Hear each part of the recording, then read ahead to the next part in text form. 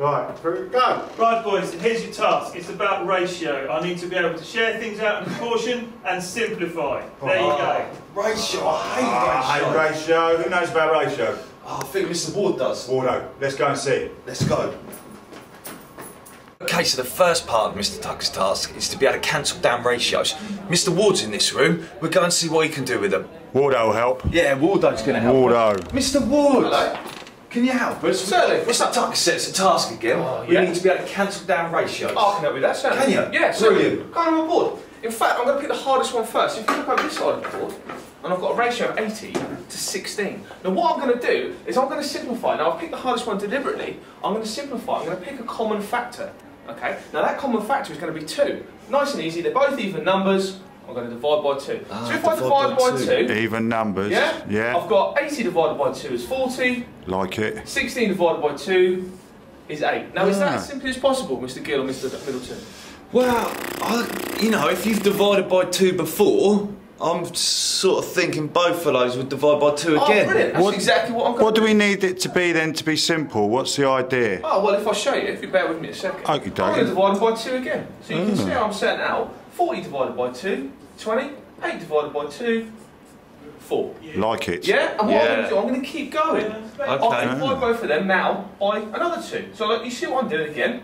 10 to 2. Okay? And then I'm going to do it one more time. And you should see that actually, this is as far as I can go because there are no more common factors to 5 and 1 apart from Themselves. apart from themselves. Now that is the simplest ratio we can find. Okay? Look at the next one, 56 to 7. Yeah. I can't divide it by a small number, so I'm going to have to think, what number goes into 7 and 56? Do you gentlemen know? Ah, well, uh, five, six, seven, eight. Uh, eight. Sevens and eights and something. 7 and eights and something close. 7 times 8 is 56. Ah, okay? So. I'm going to divide them by 7. So I know that there is one 7 in 7, and I know, as Mr Middleton has just said, there are 8 sevens in 56. Ah. Simplest ratio, 8 to 1. Okay? Ah. That's right. Same thing. A little bit harder because it's outside your 10 times table. But I know if that ends in a 0, we can divide it by 5. So if I divide by 5, how many 5's going to 5? I believe that is 1. Was last time I checked. 60 divided by 5. I know that 50 divided by 5 is 10. Oh, And there's 10 left over. And 10 divided by 5 is 2. So if I did the 10 plus the 2, I end up with 12. 12. 12 to 1. There we go, gentlemen. Marvellous. Fine ratios. So what you're saying to us, Mr. Ward, is 60 to 5 simplifies down to 12 to 1, Exactly. divided by 5. 56 to 7 divides down to 8 to 1. That's the one. And all those steps over there, divide by 2, divide by 2, divide by 2, divide by 2. Is there a quicker way of doing that one on the end, Mr. Well, Ward? actually, yes, there is. Because if you think about it, I know if I'm looking at 80 and 16, if I was clever enough, okay, for you bright ones out there, I know that 8, you can divide both of them by 8. Ah, 80 divided by 8 is 10.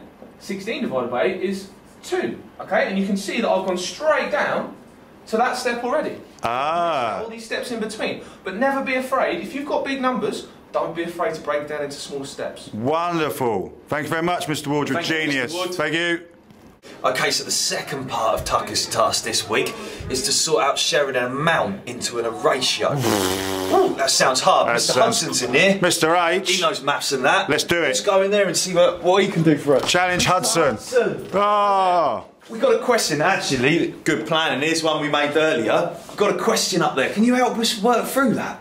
Right, we've won some money on the lottery. Hey. Won £1,200. How are we going to split it up? Oh, Mr. Middleton has bought three tickets. Yes. Mr. Gills bought two tickets. Unluckily, I only bought one. oh. Uh, more Cheapskate. me. More for me. Mug. So, we've got £1,200 and we need to split it up into six parts. Si- How'd you get six parts? Mr. Middleton's got three parts. Right. Mr. Gill's got two parts. And unluckily, I've only got one part. Ah, so you add them all up. Total, add Add them all up. How am. I going to split £1,200 into six equal parts? Uh, ooh, Double it? uh, yeah, no. No, cut it Maybe up. divide? Divide. Divide. Divide. Divide. We're going to divide by six. How do I do that? Uh, sixes into a hundred is lots. Uh, into 200 more. more, lots, lots and lots. I'll give you a clue. It's two hundred pounds. Wow, sir. Oh, yeah. Ah, yeah, because there's two Six sixes in 12, 12. and we got 100 of them. Like it. Yeah, good. Brilliant. So that means each of these tickets is worth two hundred pounds. Ah. Mr. Middleton, Ooh. here he is. He's bought three tickets. Lucky Ooh. Mr. Middleton. Mr. N there. Mr. Gill, with his curly hair, has bought two tickets. And Mr. Hudson at the end has bought one. So, Surely should be a bit fatter, that one then. oh yeah, there you go. If I've bought one ticket and each ticket's worth £200, how much have I earned? Or one, sorry. Two, 200 200 quid. pounds. 200 pounds, yeah, tickets. like it. Yeah, wish I bought more tickets. Yeah, like I did. Mr. Gill, he's bought two tickets. Two, if one ticket's two, 200, Four. Four hundred pounds. Four hundred pounds. Spot. Mr. Middleton, the clever man. Big bucks. Maybe gambling man, you could say. Wow. He's bought three tickets. How much is that going to be worth? Three twos is six. Six hundred pounds. Six hundred pounds. Ooh. Are we sure of these answers? How could we check ourselves to see if this is right? How much did we have to start with? Uh, 1200 pounds. Right, let's check. Let's add this up. 600 and 400 is Ten hundreds.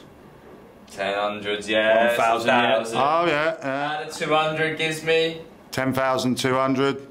or 1,200. 1,200, sorry. The mass department has won 1,200 pounds. Way!